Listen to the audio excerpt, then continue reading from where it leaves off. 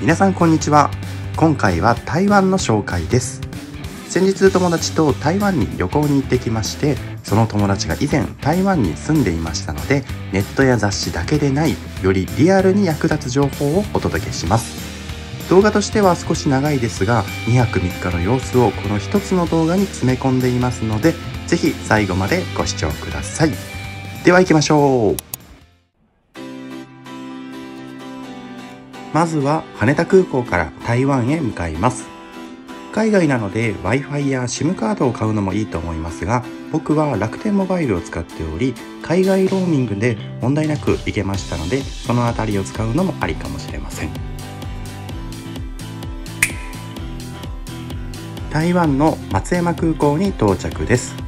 羽田空港から4時間ほど時差は1時間ほどになります。台湾のレートはこのようになっており1円で0.21台湾元3万円両替して6500台湾元ぐらいでした。数年前より日本円の価値が落ちているみたいですね。松山空港は台北市内からとても近いのでタクシーでそのままホテルに向かっていきます。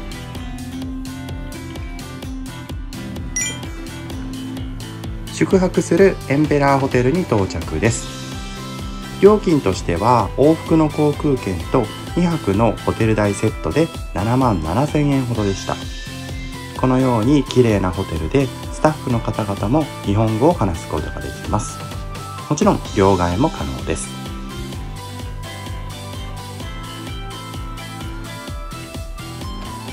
中はこんな感じです。ベッドも広く歯ブラシやシャンプーといったアメニティも問題なしでいい感じのホテルです。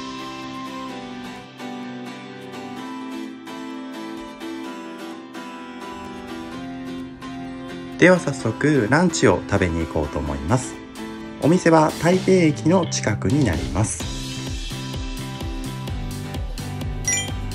こちらは牛肉麺のお店です。ミシュランビブグルマンにも掲載されており地元の人で行列ができています。メニューはこちら。左上があっさりめで右上が濃いめなイメージです。170元なので今の日本円で800円ぐらい。そして牛肉麺がこちら。柔らかい牛肉に麺はうどんのようなイメージで食べやすいです。こちらが濃いめの方になります。個人的にはスープが美味しくあっさりしたスープに牛肉の旨味がプラスされていて飲みやすく美味しかったです。また卓上に高菜とニンニクがあり味変も可能です。地元の人たちはガンガンニンニクを入れているようでした。ちなみに台湾ではお水などは出てこず代わりに持参したペットボトルのお水は持ち込み OK なお店が多いのでご注意ください。続いては先ほどのお店の近くのフルーツジュース屋さんです。食後にジュースをいただきます。ご覧の通りスイカレモンいちごなどいろいろ種類がありまして僕はぶどうにしました。砂糖などは入っておらず素材の味のジュースという感じです。量が想像以上に多いのでその点はご注意ください。昼ご飯をしっかり食べたところで歩いて総豆腐にやってきました。こちらは日本の台湾統治時代の拠点で現在は台湾の総統が執務を行う官邸です。平日の午前中なら見学もできるようです。続いては地下鉄で移動します。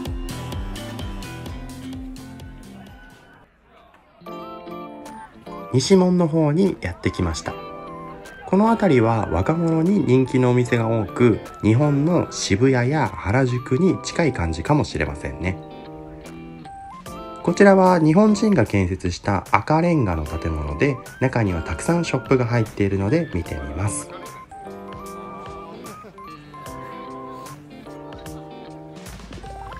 台湾らしい小物が販売されていますね。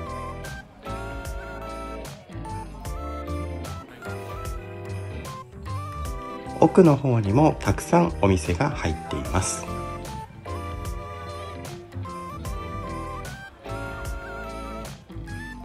こちらは台湾のお茶ですね。そしてこちらはお酒や台湾ビールをモチーフにした小物ですね。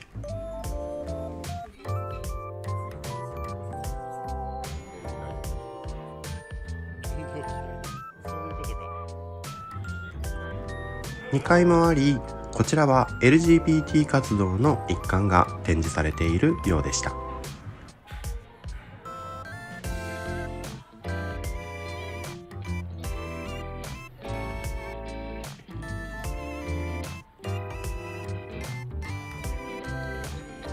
続いて駅の反対側の方に進んでいくとこちらはさらにザ若者の街という感じです。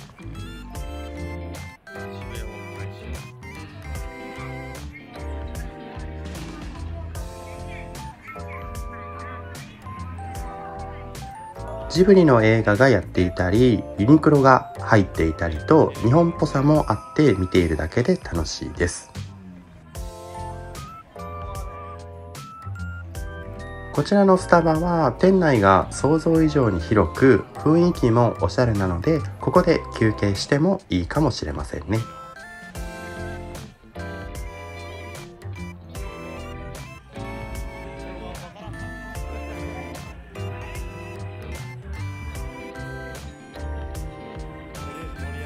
ちなみにこちらのお店は明日の夜ご飯で食べに来る予定のめちゃくちゃおすすめのお店です。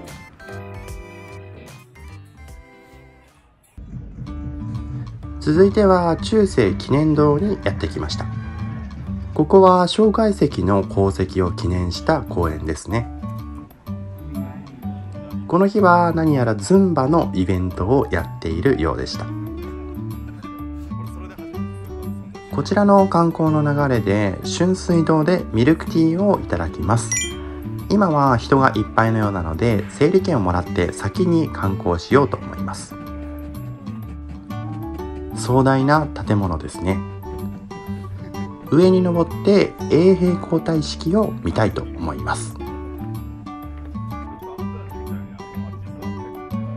すでにたくさんの人がいますね。こちらは毎日9時から17時の1時間ごとに行われるそうです。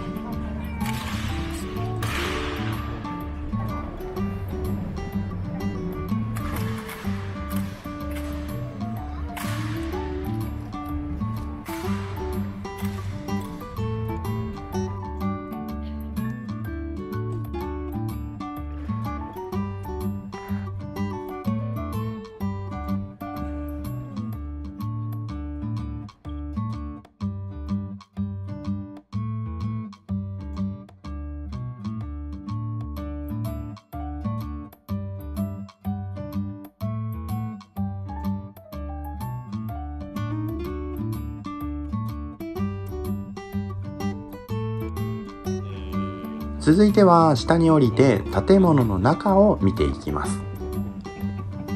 ちなみに僕は以前来た時この建物の中の存在を知らなかったのですが無料ですので是非合わせて行ってみてください。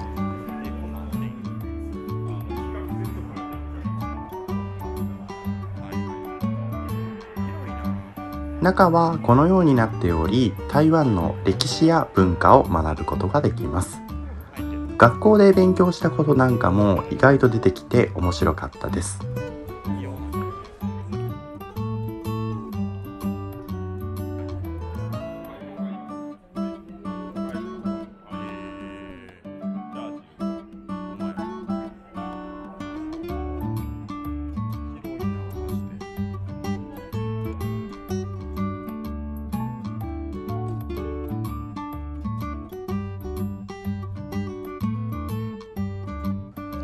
観光の流れで春水堂でミルクティーをいただきます。メニューはこのようになっておりタピオカミルクティーにもいろいろ種類があるようです。僕はまだ少しお腹いっぱいだったので普通のミルクティーにしました。春水堂は日本にもお店がありますが人気店だけあり美味しかった。続いては夜ご飯のために場所を移動するのですが合わせて電車を紹介します。今回はこちらの IC カードを購入しチャージして使います。1枚100元で購入することができひとまず100元チャージします。もちろん地下鉄に乗るためでもあるのですがこの後バスを利用する予定もあり実際に乗る時に紹介しますがバスでいちいち現金で払っていたら面倒なのでこの IC カードを使います。地下鉄自体は日本とあまり変わらない感じですね。台北駅に到着です。こちらは日本でいう東京駅のような感じですね。この日は就職活動のイベントをやっていたみたいです。東京駅に近いような形で様々なお土産やスイーツが販売されています。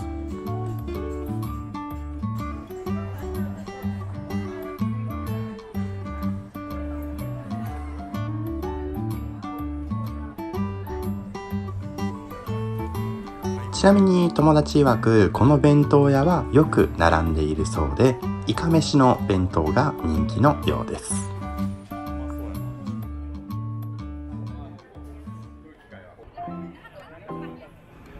中山駅に来ました。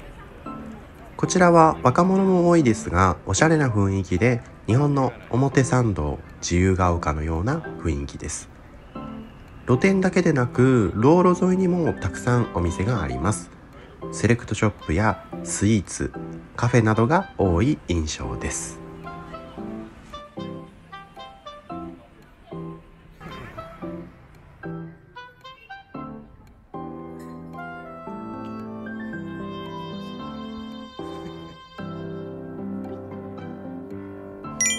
たくさん行列ができているこちらのお店で蒸し餃子をいただきます。焼き餃子や水餃子はあっても蒸し餃子は食べたことないので楽しみです。ご覧の通り観光客というより地元客が多い印象です。料金は蒸し餃子が90元。こちらが蒸し餃子です。かなり大きめで肉汁がすごいです。イメージ小籠包に近い感じがしました。もちろんめちゃくちゃ美味しいです。焼き餃子も美味しいと思いますがそれに並ぶレベルで美味しいです。合わせてサンラータンもいただきました。これもめちゃくちゃ美味しいです。行く際はぜひ合わせて頼んでみてください。続いては夜市に来ました。台湾といえば夜市ですよね。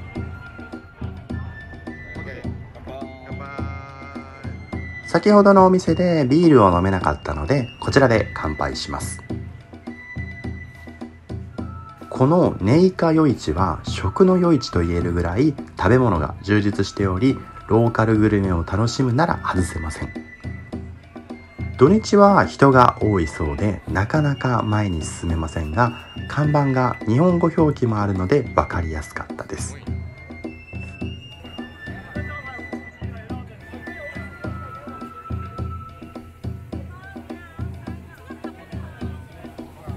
ちらのお店は大きなイカを爆撃するらしいです。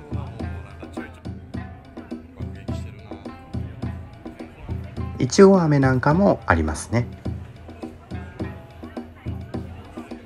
他にも焼き鳥にこちらはたこ焼きでしょうか。いろいろお店がありますが今回紹介するのはこちら。この鶏肉飯がめちゃくちゃうまいです。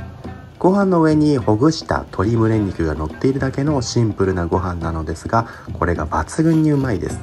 甘辛いタレと鶏胸肉とご飯の相性がバッチリです。50元なので日本円で240円ぐらい。屋台なのにミシュランビブグルマンに選ばれ続けているおすすめのお店です。年会夜市に来たらぜひ食べてみてください。続いてはさらに別の夜市にやってきました。この城下街夜市は一本道でグルメだけでなく小物雑貨占いなどあり観光にぴったりです。まず入り口すぐにあるこの胡椒餅がとても人気です。後で食べようと思いますが今はそのまま進んでいきます。先ほどのネイカ夜市よりも広く人も多いようでした。土日ということもありあまり人が多くて先に進めなかったので入り口の胡椒餅をいただこうと思います。行列ができていますがこのようにガンガン作っているのでテンポよく進んでいきます。そしてこちらが胡椒餅です。焼き肉まんというような感じで意外と皮が薄く肉がぎっしり詰まっています。肉汁も溢れて美味しいです。やけどにはご注意ください。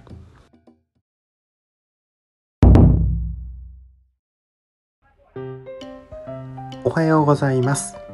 朝はだいぶゆっくりしたので2日目はランチからのスタートです。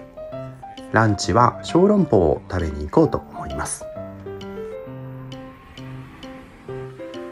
早速この IC カードを使ってバスで移動しようと思います。基本は日本のバスと近いですがテンポがめちゃくちゃ速いです。ただ数年前に比べてタクシー代が高くなっているらしいのでコスパよく行きたい方はバスも使ってみてください。Google マップでルートも出てくるので意外と便利でした。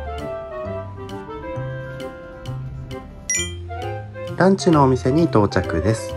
小籠包といえば皆さんディンタイフォンに行きがちだと思いますが地元の人目線で言うとこちらのお店もおすすめです。コスパがよくメニューも日本語で書かれています。店内もこのように綺麗です。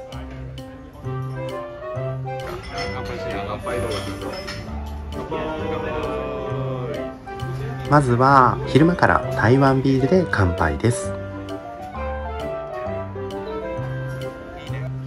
最初はチャーハン。そして空心菜。どちらもうまいです。そしてメインの小籠包。化学調味料不使用らしいのですがジューシーでめちゃくちゃ美味しいです。台湾に来たら小籠包は外せませんね。ちなみに手前の小籠包はエビとヘチマが中に入っているのですがこれまた美味しかったです。101の近くにあるのでぜひ行ってみてください。続いては台北101から徒歩10分ほどのところにあるこちらのスポット。スースーナンツンです。こちらはもともと軍人とその家族が暮らしていたそうでそれをリノベーションすることで文化や歴史を伝える資料館とおしゃれなショップやカフェが複合する施設となっています。このように可愛い小物や食べ物が販売されています。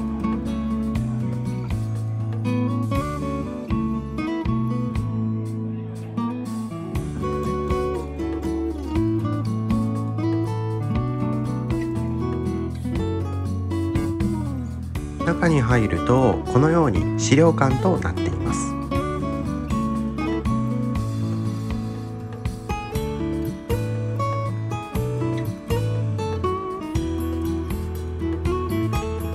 年表であったり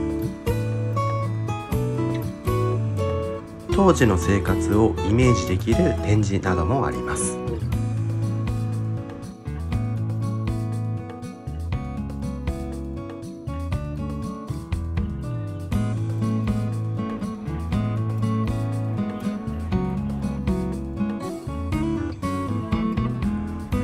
ちらはショップ兼カフェですね美味しそうなドライフルーツであったり奥にはカフェスペースなんかもあります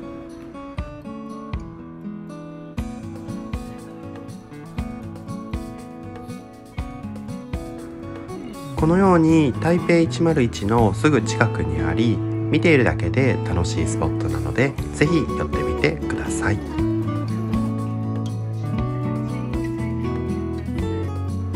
先ほどのスースー南津から歩いてそのまま台北101にやってきました。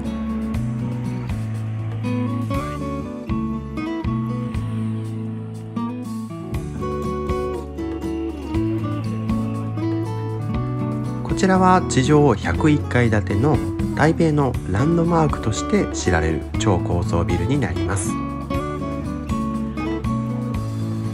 1階から5階はショッピングモールとなっており高級ブランドショップからカジュアルなお店まで幅広いお店が立ち並びます。高級ブランドエリアは雰囲気がすごいですね。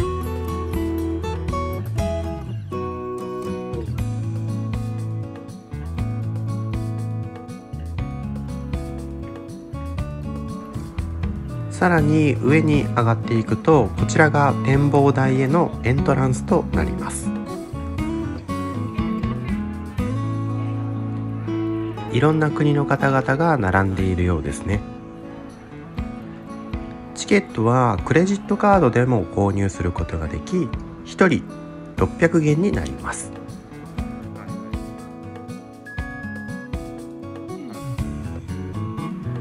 次は先ほどの台北101の近くにある製品審議館に来ました。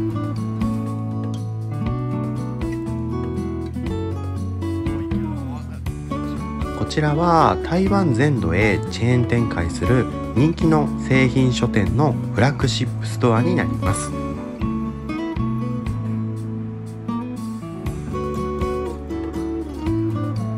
多彩な本に加えて最新のファッション雑貨も販売されています。日本の漫画や本も多数販売されており見ているだけで楽しいお店です。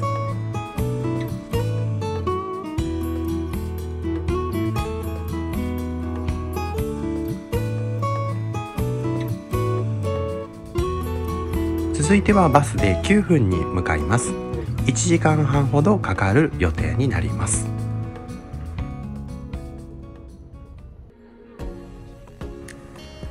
ということで9分にやってきました。早速いい景色ですね。ここはもともと金の採掘で栄えた町らしく台湾映画の舞台となりノスタルジックな雰囲気で人気の観光地です。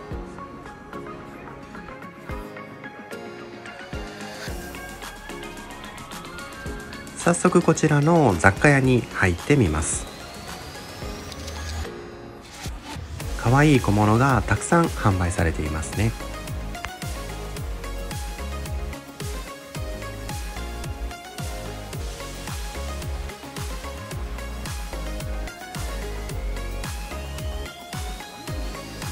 僕の友達はこの台湾ビールのキーホルダーを買っていました。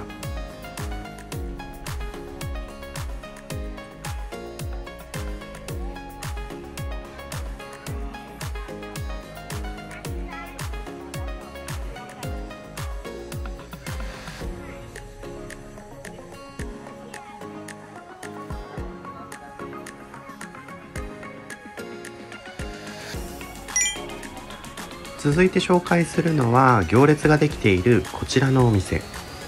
今回僕たちは食べなかったのですが人気のお店なので紹介します。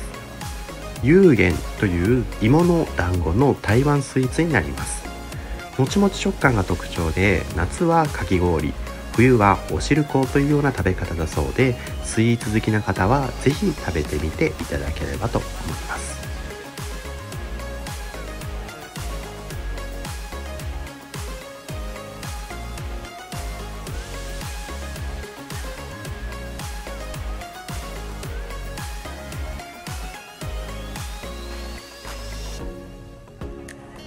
そして真ん中の方にあるこの辺りがよく写真などで見るフォトスポットになります。その近くのこちらのお店でウーロン茶をいただきます。メニューはこんな感じです。こちらのお店の特徴はまずこの抜群の景色です。この後夜の景色もお見せしますので楽しみにしておいてください。加えて店員さんがその場でお茶を入れてくれます。まずはお湯で器を洗っていきます。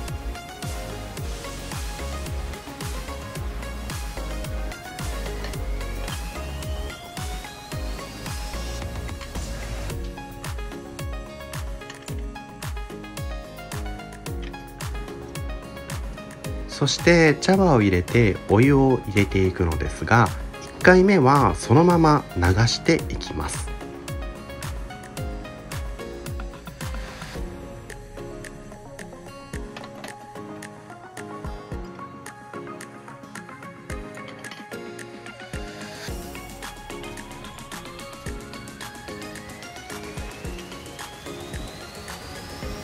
そしてもう一度お湯を注ぎ少し待ちます。その後お茶を注いでいきます。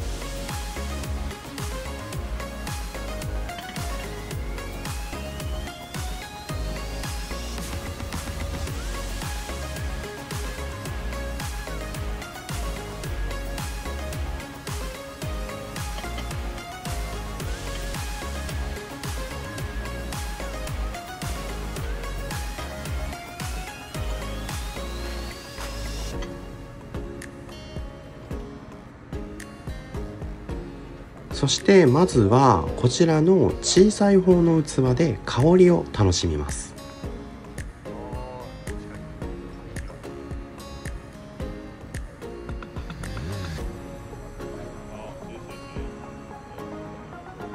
その後お茶をいただきます。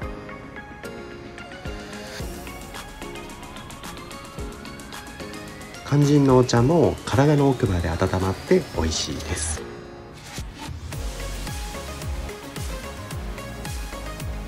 その後も同じ茶葉で4回から5回飲むことができます。是非自分でもやってみましょう。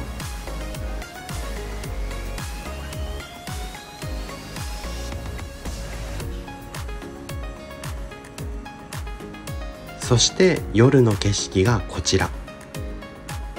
抜群の景色ですね。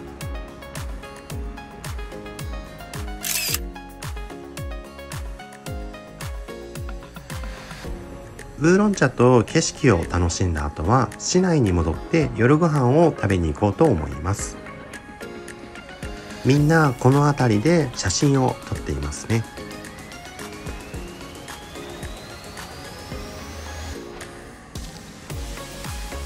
ちなみに先ほどの向かいのこちらのお店も人気店のようです。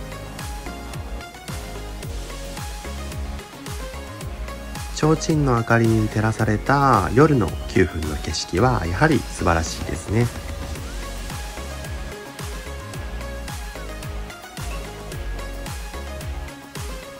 ではこのまま通りを進んでいき帰りのバス停に向かいます。少し暗い通りもありますが道なりに進み階段を上がると元来たバス停に戻ってこれます。帰りも1時間半ほどかかりますのでしっかり座って帰りたいですね。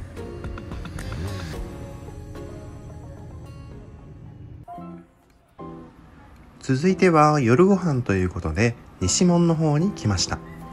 ここは初日にも来ましたが引き続き賑わっていますね。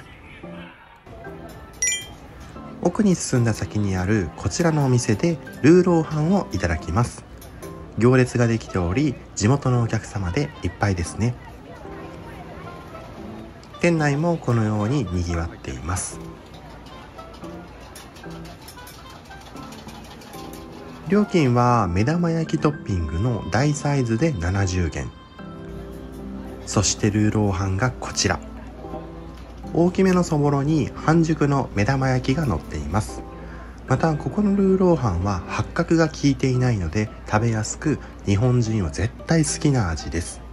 余談ですが以前に今回の友達と台湾に来たことがありその時ここのルーローハンがめちゃくちゃ美味しかったので今回も行きたいと言ったぐらい美味しいのでおすすめです。次に台湾の居酒屋に来ました。ここはホテルに近く日本人の口に合う料理が多いのでまだ飲み足りないという時におすすめのお店です。ここのお店はご飯を自由に食べることができます。またドリンクは奥の冷蔵庫から自分が好きなものを選んで最後にまとめて料金を払うというシステムです。台湾ビールだけでもたくさん種類がありますね。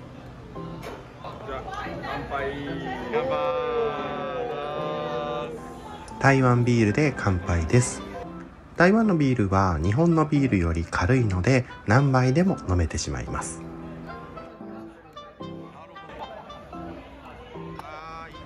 唐揚げに麻婆豆腐とビールが進み美味しかったです。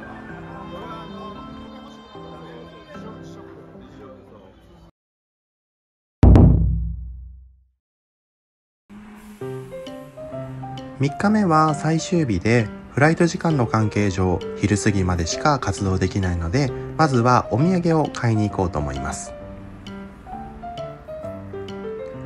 目的地の道中にある雑貨屋に寄ってみます。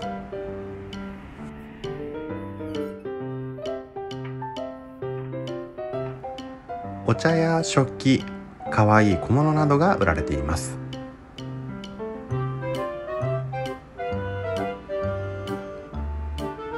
台湾のこういうショップはなんだかいいですね。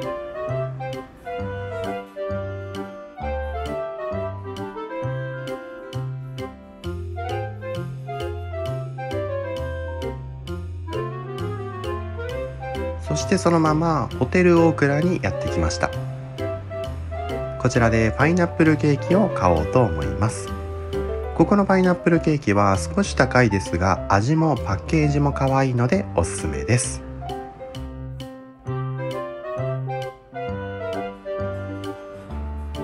中に入ると他にもケーキやスイーツパンなどが販売されています。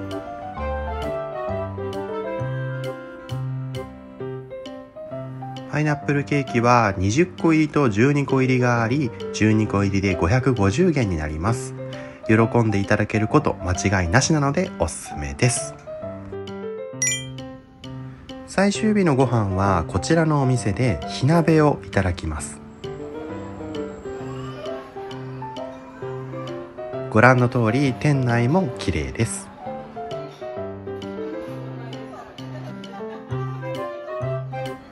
メニューはこちら。お肉や野菜などいろいろありますね。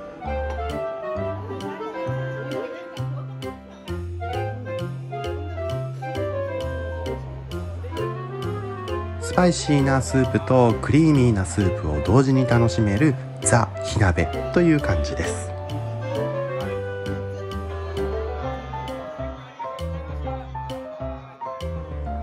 早速ビールで乾杯です。見たことない具材がたくさんありますがどれも美味しいです。そしてこちらのお店もご飯はおかわり自由。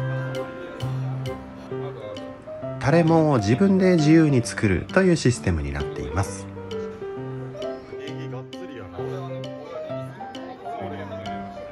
やっぱりみんなで囲む鍋はいいですね。ご飯の後はみんなでマッサージに来ました。台湾はマッサージも有名ですよね。店内はこちら。そしてメニューはこのようになっております。あと帰るだけというところでしたがすごく回復できた気がしました。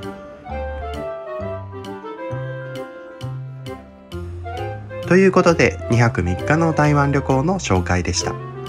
海外旅行が解禁されて皆さんいろんなところに行ってると思いますが台湾もおすすめなのでぜひ行ってみてください。ご視聴ありがとうございました。